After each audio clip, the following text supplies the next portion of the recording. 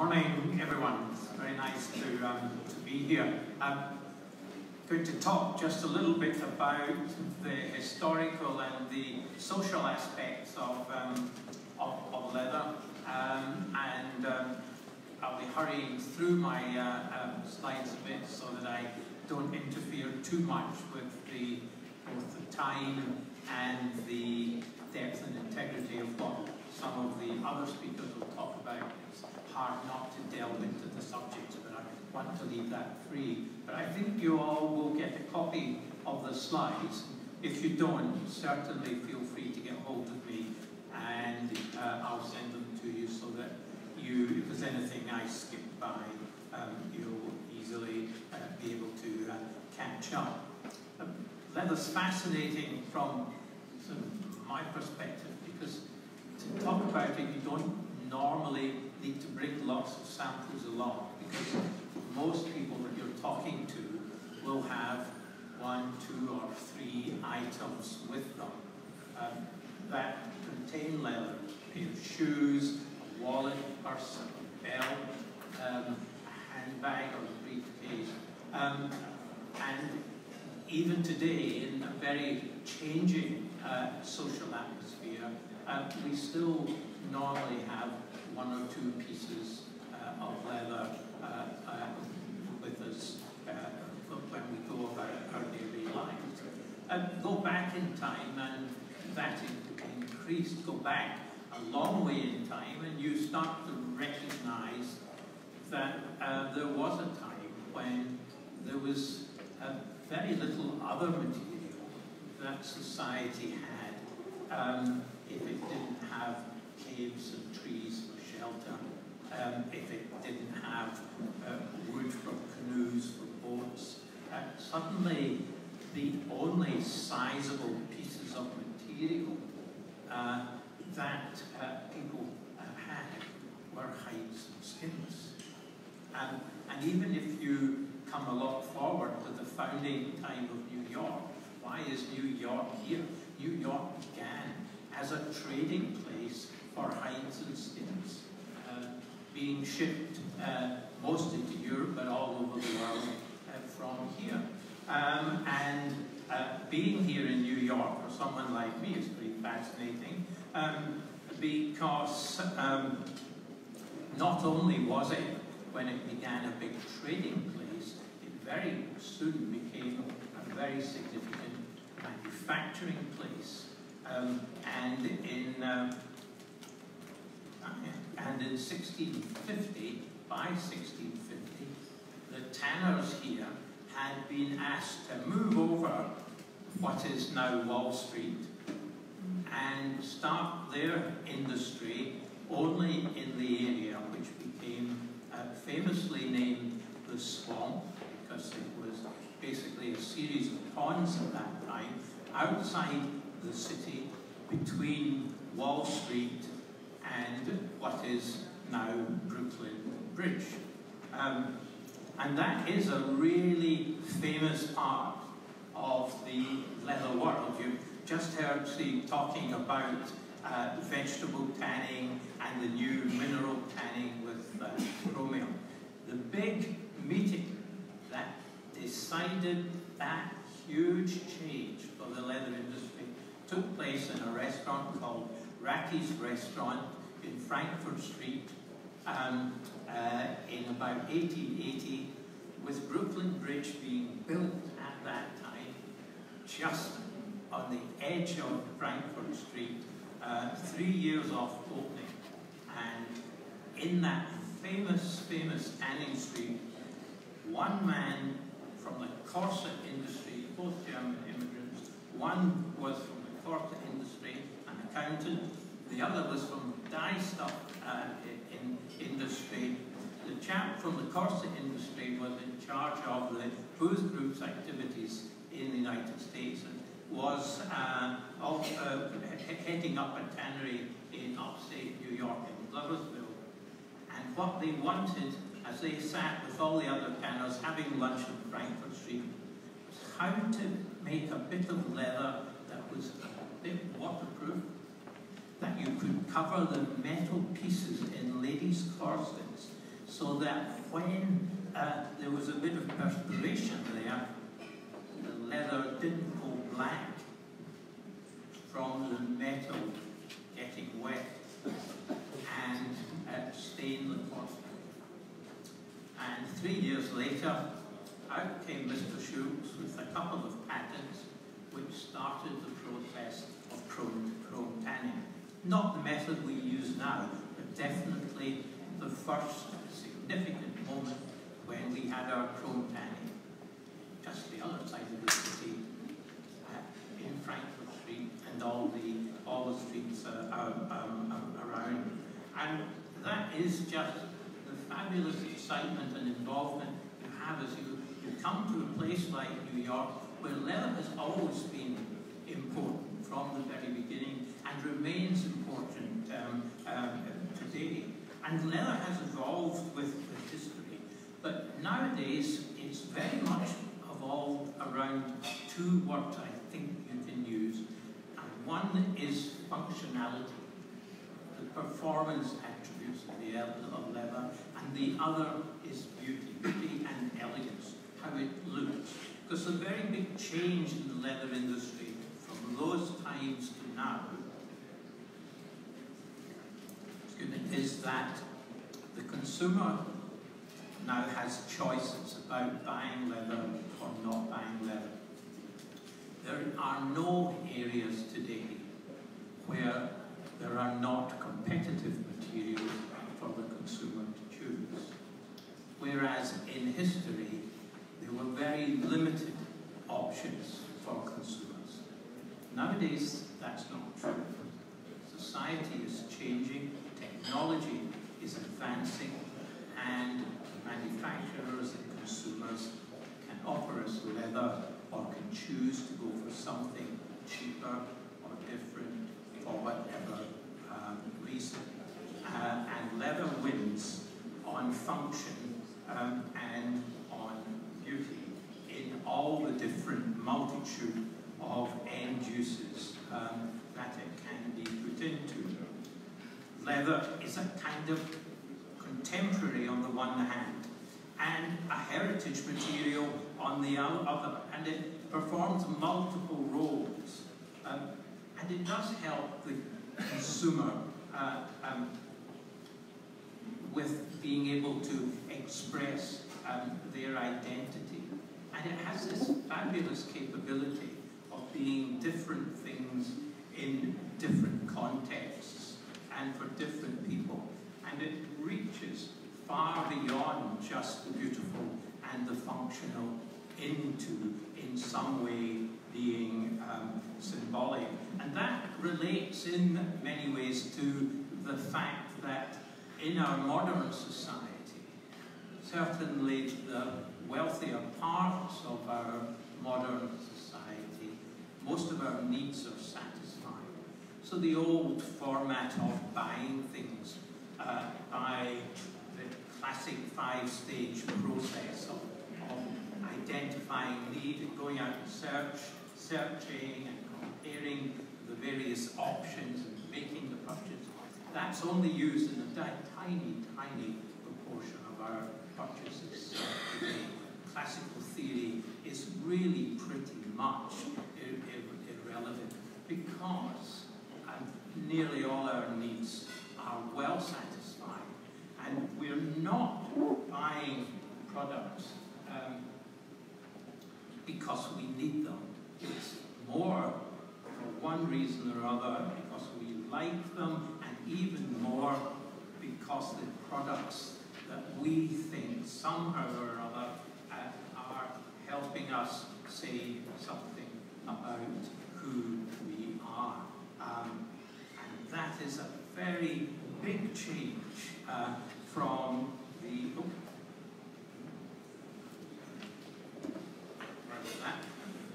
um, from, who, from who we are, we are. And it does mean that you can build up these leather narratives of how people see leather and why they like leather.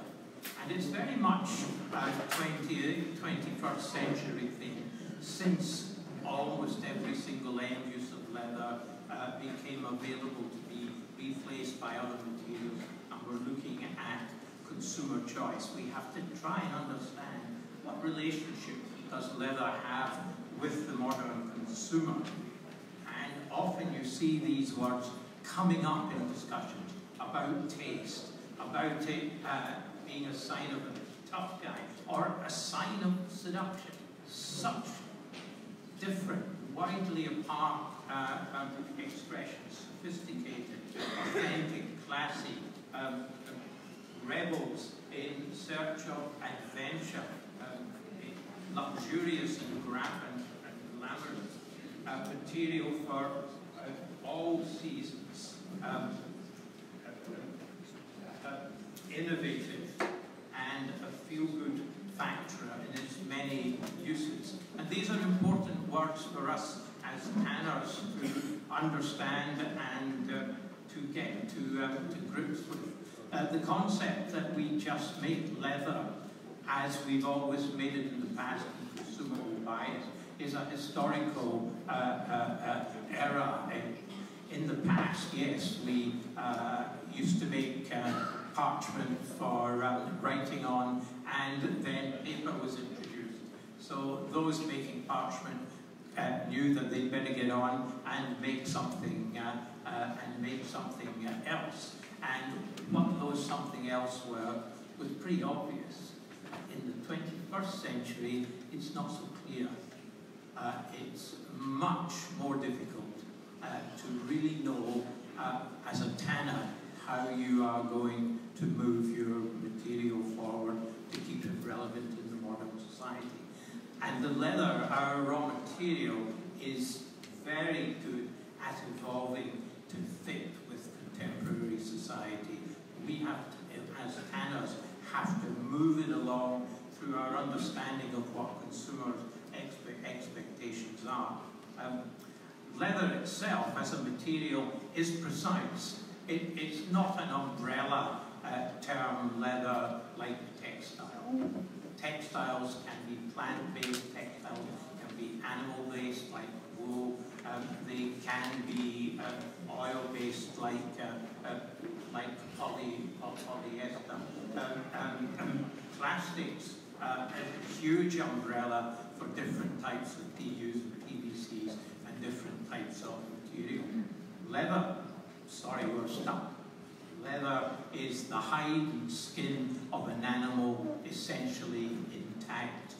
And we've been pretty strict on that definition since about the 16th century, when it went into various acts of uh, parliament. The diversity you get within that, of course, is pretty great, just as Steve explained, the different animals out of which you make leather, and you can get the, the, the wide diversity of leather types um, that comes from different animal types and different processing types. But it's a very distinct uh, origin that we are, uh, are working with. And the one thing that's absolutely true about that leather, which does give this complexity, which I'm trying to uh, uh, convey, seems to be hugely important, but not well understood, is the fact that for all we make an engineered product for all we make a product that's very carefully uh, processed um, um, to be of extremely high quality, um, we're not um, uh, synthesizing anything. What we are doing in manufacturing terms is a conditioning process. So we are mildly changing our raw material to make it slightly better for the end uses uh, to which it's going.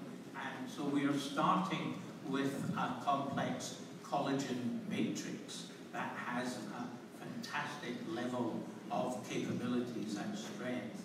And we are ending with a complex collagen matrix um, whose strengths and capabilities and beauties we are uh, allowing it to maintain and keep for longer.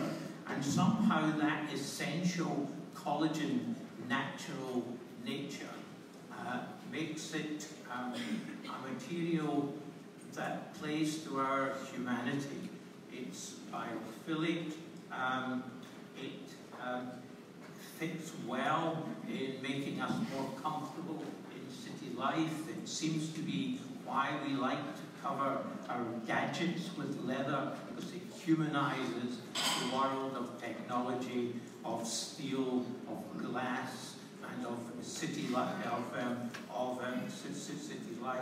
Uh, we like to handle it, we like to touch it, we like to smell it, we like to, um, to, to, to work with it.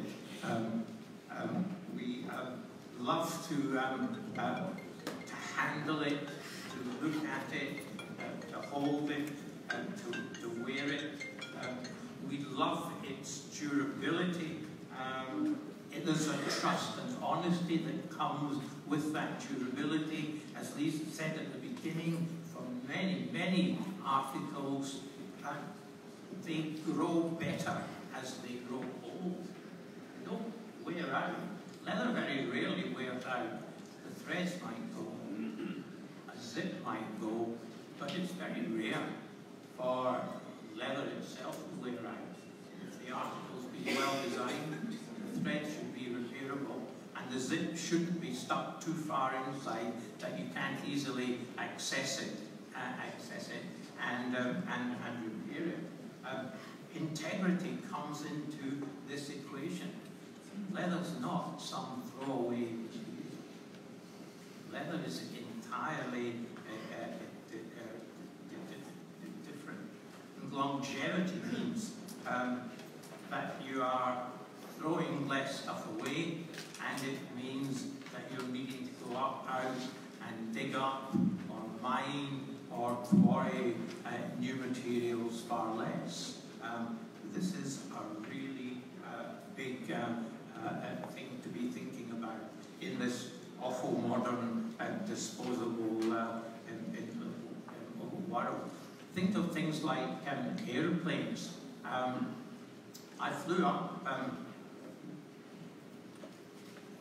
the UK just last week, and I was looking at the third last row of seats as we went out the back door, and the cushions were missing from a lot of the seats. Apparently what had happened was somebody had spilled the coffee. Of course, on a textile seat, they had to take the cushions out, leave them at base to get them dried out. If it were leather, what do you do? You wipe it down with a damp cloth. Off you go. Um, low maintenance, longevity. The seats, I've probably heard I'm a little bit Scottish, and um, we fly a lot on, a, on British Airways, although I'm not sure how British it is anymore. Um, their short uh, haul aeroplanes have just replaced their leather seats. They were supposed to last for eight years, but actually they replaced them after 12 years. Um, now, if they'd had textile, they replaced those between three and five years. And of course, if you buy textile seats for an aeroplane, you have to buy 50% more. Why do you buy 50% more? Because every six months, you have to take the covers out and have them dry cleaned. After you have them dry cleaned, you've got to re-fireproof them and put them back in. A huge environmental load. Every six months, washing, uh, dry cleaning, uh, uh, um, uh, fireproofing. 12 years. What do you do with your old leather? Wipe it down with a damp cloth. What do you do if somebody spills something over it? Wipe it down with a damp cloth and carry on. Textile seat. You've stuck that seat can't be used until you can get it out properly cleaned and, and, and dried. This is significant. So we have a wee hall in London, uh, the Worshipful Company of, of Leather Sellers, kind of a grand, grand uh, thing. Um, that wall in there, that's their latest hall. Seventh in, I think, 650 years. And they're hoping that hall will last 200 years. And the one thing we know is that all of that wall, which is made of, uh, of leather, that'll be there in 200 years. And what maintenance will it have had in that 200 years? A duster maybe, nothing more. Uh, leather is just a fantastic, uh, a fantastic material. And of course, I came up down from Grand Central this morning, and there are two areas at Grand Central uh, where people will polish um, your shoes for you. But I'm of that generation that likes seeing it as a as a weekend uh, as a weekend a weekend job. But if you can keep your shoes an extra year or two, and not just buy them for a season um, and then throw them out, you're beginning to see the fantastic value of leather in this planetary battle that we are having uh, with uh, um, uh, loss of resources and wasteful uh, use of, um, of resources. In um, scientific terms, we're talking about product life extension. Product life extension is the first stage of the circular economy.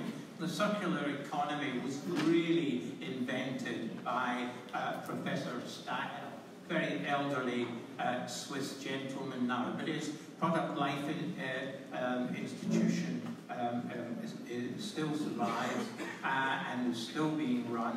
Um, and he's just updated and republished a lot of his material.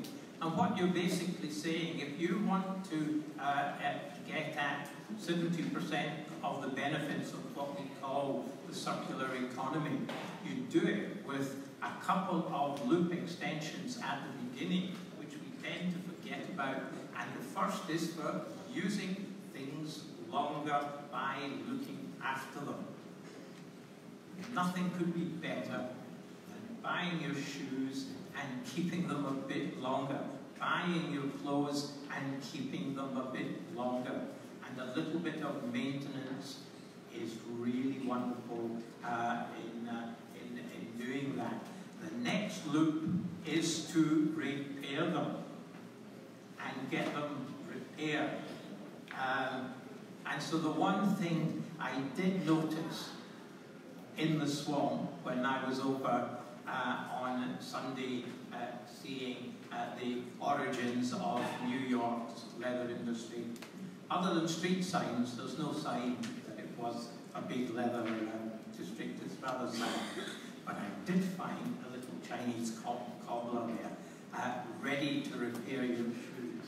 And these are the sort of people we need to encourage. And what Stahel said is if across the board, not just leather things, but electronic goods and other, other things, if we went to a repair type of economy, we should be employing 4% of our workforce.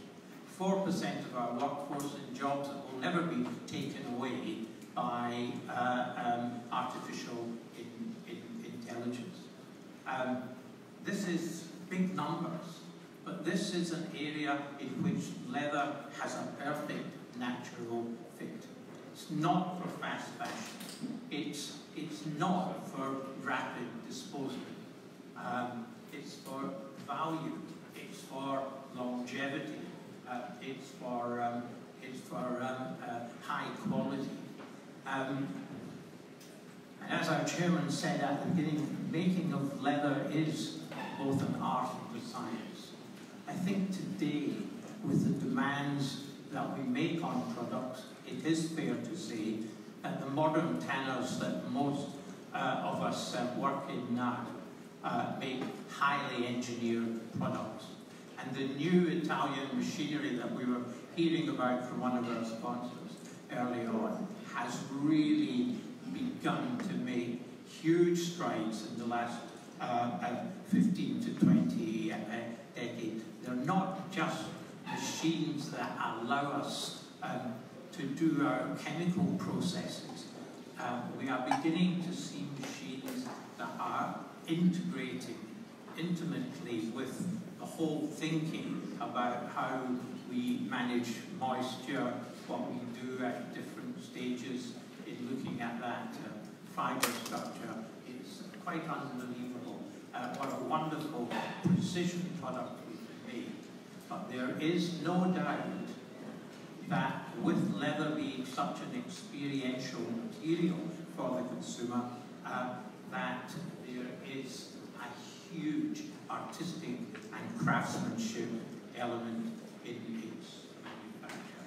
And that's what makes leather such a nice material, a science and a craft uh, combined, uh, personalization, beautification, artistry, working with. Leather is unique in its ability to combine comfort, practicality, and beauty, to connect with consumers in complex ways, and it has this capacity of a unique material to, to, to uh, continue to redefine itself.